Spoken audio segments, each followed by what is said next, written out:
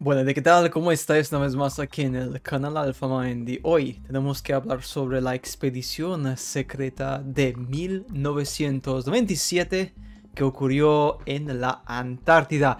Obviamente si pensabas de que únicamente hubo una expedición o dos o tres, te equivocas. Sabemos de que el almirante Burt, después de la Segunda Guerra Mundial, pues se fue a la Antártida. Y creo que fue lo que sería en 1946 o 47 aproximadamente, ¿no? Antes del almirante Byrd también hubo expediciones, obviamente, en el siglo XX a principios, pero mucho más básicas. Después de esto, como te puedes imaginar, hubo más expediciones. Hablamos hoy de lo que sería la expedición 1997 un descubrimiento de unos artefactos preadamitas alucinantes. Esto es prácticamente eh, oro puro. Pero el problema es el siguiente, como siempre ocurre, estos descubrimientos, la versión oficial nunca habla sobre esto. Pero aquí está el tema más importante. Si los gobiernos ¿de acuerdo? Silencian estas expediciones que sabemos todos lo están haciendo, ¿de acuerdo? No somos, no somos tontos, lo sabemos. Entonces, donde el río suena, agua lleva, claro está, ¿no? Vamos a meternos de lleno sobre esto porque esto es muy interesante. Bien, pues este informe que fue publicado por lo que sería una ex empleada de la CIA y científica Scarlett Dawson de 65 años, ¿de acuerdo? Esta mujer pues publicó esta información, la soltó al público, eh, puede que le importó una, una mierda su vida porque obviamente ya estaba retirada y bueno pues como obviamente es un tema muy sensible seguramente muchos la tomarían como chiflada y la CIA no la mataría porque como ya es vieja pensaría de que digamos tiene problemas mentales y tal y cual, ¿no? Bien pues dijo algo interesante, una expedición en 1900 2027 que no fue anunciada al público em, y que sus tareas resultaron ser bastante increíbles, ¿de acuerdo? Los investigadores necesitaban encontrar la entrada a una cueva eh, descongelada, ¿de acuerdo? Que conducía a la placa continental. Fue allí donde, según los contactos, se ubicó una de las bases preadamitas, ¿de acuerdo? Debajo del hielo. Con la esperanza de obtener una tecnología obviamente avanzada, los agentes de la CIA y el ejército de Estados Unidos obviamente fueron enviados a la Antártida una, una expedición bastante fuerte. Se supone que todo permaneció en alto secreto, obviamente, y tardaron muchísimo tiempo en revelar esto únicamente cuando la gente, como esta mujer, se retiró de la CIA. Bien, pues Em, el gobierno estadounidense obviamente rápidamente negó cualquier informe sobre la expedición, lo negó completamente. Em, bien, pues la mujer, esta mujer, no participó ella misma en lo que sería la expedición porque ella fue una, digamos, trabajando en las oficinas de la CIA, pero sí tuvo acceso a los documentos altamente clasificados, los informes, los que participaron activamente en esta expedición. Ella también trabajó con objetos que fueron traídos, de acuerdo, desde la Antártida durante esta expedición en el 97. Además de los artefactos, a Scarlett se le proporcionó un pequeño trozo de carne de una criatura con un cráneo alargado, igual que ocurre en partes de América del Sur y también partes de Egipto, donde encontramos eh, representaciones gráficas de seres con cabezas alargadas, obviamente, eh, que no son humanos cráneo alargado que tenía, ojo, atentos, un cráneo alargado de 3,5 metros de altura. ¿eh? para flipar, o sea, un cráneo tremendo. De un ser, un nefilim. Esto es un nefilim en toda, en toda regla. Un nefilim, como nos bien se indica claramente, por ejemplo, en el libro de Enoch. Se habla claramente sobre estos seres eh, gigantescos, ¿de acuerdo? Bien, pues el estudio demostró que estas criaturas no son eh, estas criaturas no son seres humanoides humanos como nosotros no tienen nuestro mismo ADN tienen la estructura del ADN más compleja mucho más perfecta que cualquier organismo en la Tierra en cuanto a su nivel de ADN lo que sería cualquier ser humano, cualquier, ser que existe en este mundo, tiene lo que llamamos lo que sería la perfección. Hasta seres humanos, por ejemplo, cuyo ADN es tan perfecto que casi nunca se enferman, casi nunca tienen problemas, sobreviven hasta heridas graves de coches, de balas, porque lo que su esqueleto es muy fuerte, muy resistente, sus, sus órganos son muy fuertes. Esto se debe prácticamente a lo que sería un ADN extremadamente resistente. Bien, pues el ADN de este esqueleto, de este, este era mucho más perfecto, mucho más avanzado en cuanto a resistencia, en cuanto a habilidad que un ser humano común y corriente. Además, estaba compuesto con, curiosamente, más metales pesados en, lo que sería la composición del ADN, ¿de acuerdo?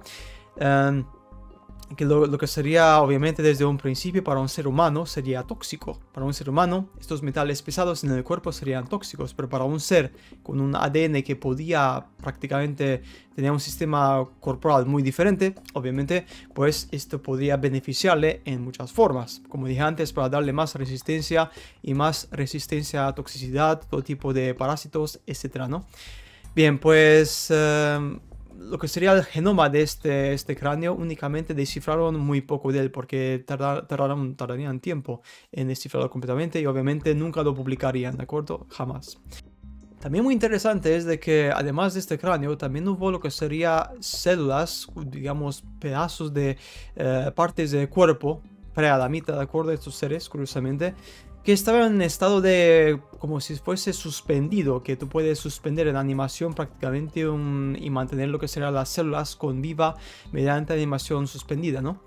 Eh, después de hacer experimentos y tal y cual, también vieron algo muy interesante. Los órganos de estos seres también tenían una capacidad regenerativa muy superior al ser humano. Obviamente no era así como que instantáneo, no era como que fantástico como un cuento, pero sí que tenía una propiedad regenerativa mucho mejor, puede que varias veces mejor que el ser humano, y obviamente esto les daría que pues una mejor sobrevivencia y un mejor lo que sería pues rendimiento si hace falta luchar o cualquier tipo de cosa. Prácticamente se convertirían en seres semi eh, inmortales, porque si tú tienes lo que sería una habilidad de curarte rápidamente de cualquier herida, pues obviamente como te puedes imaginar, en cuanto a tu rendimiento, en cuanto a tu resistencia física, incrementa muchísimo, ¿no? Y obviamente esto te da una más mayor longevidad en tu vida.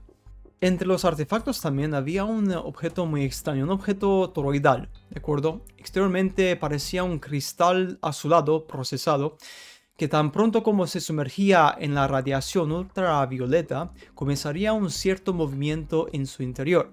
Los científicos no han sido capaces de entender cómo es esto realmente posible, porque tienen una estructura muy extraña. La estructura cristalina no puede volverse líquida solo por exposición a la, radiación ultravioleta. Los procesos químicos dentro del toroide siguen siendo un misterio hasta el día de hoy. Otro artículo tenía una forma de una especie de pirámide.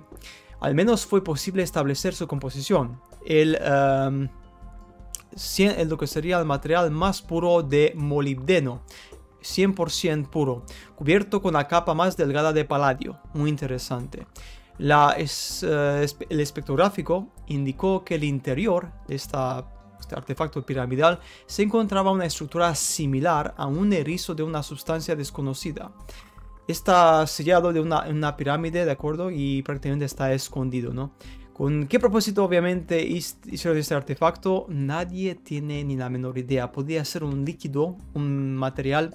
Esto me recuerda que sería la película Prometheus, que también es muy interesante. Veréis, la película Prometheus habla muchas verdades, como puede ser, por ejemplo, cuando em, los antiguos dioses, o digamos los arquitectos, como lo llaman, crearon la humanidad, prácticamente ofreciendo su ADN un poco dramático que estaba bebiendo líquido ese trío al, al, mar y se descompuso, es un poco dramático, ¿no? Pero en definitiva habla de lo mismo prácticamente, de unos líquidos negros, unos componentes que podían ser prácticamente los elementos primordiales de generar un tipo de vida, un tipo de desarrollo, bioingeniería prácticamente, ¿no?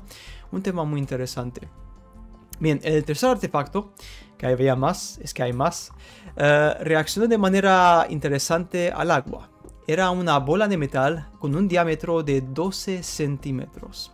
No se pudo establecer su composición debido a que la capa superior de la materia emitiría un campo a través del cual no pasan rayos, ¿de acuerdo? Ultravioleta, o sea, no se podía analizar prácticamente. Eh, físicamente también falló. Lo único es que cuando se sumergió en el agua aumentaría varias veces en su tamaño, como si es que el agua pues absorbería y prácticamente cambiaría su estructura mm, de memoria. Mm, es muy, muy interesante. Em, muy curioso, claro está, ¿no? Bien, pues em, también Scarlett Dawson afirma también de que en 2019, hace escasos años, eh, también enviaron otra expedición a las mismas ruinas. No se sabe nada del resultado, solamente hay rumores de que nadie regresó después de esa expedición, según los rumores, ¿de acuerdo? Eh, la razón podría ser por posiblemente de que los preadamitas, o lo que sería esta cultura que estaban pues ahí en estado animado suspendido, no les gustó de que prácticamente pues estaban robando sus, artefactos y prácticamente acabaron con los intrusos, ¿de acuerdo? Obviamente, como te puedes imaginar, esto pues no es información que nunca jamás se publicaría en eh, ningún periódico oficial, ninguna revista oficial. Obviamente es un tema muy sensible, ¿no? Eh, y bueno, pues tómatelo como siempre digo deportivamente. Es verdad lo que dice esta mujer, Scarlett Dawson, ex agente, bueno, ex oficinista de la CIA, que analizó estos artefactos en la oficina y digamos, leyó los informes, prácticamente los que fueron para allá y también exploraron ese lugar. Bueno, pues quién sabe realmente, pero el tema aún así es extremadamente interesante. Y nada más, gente, como siempre os digo, nos veremos en el siguiente video programa de Alpha Hasta pronto.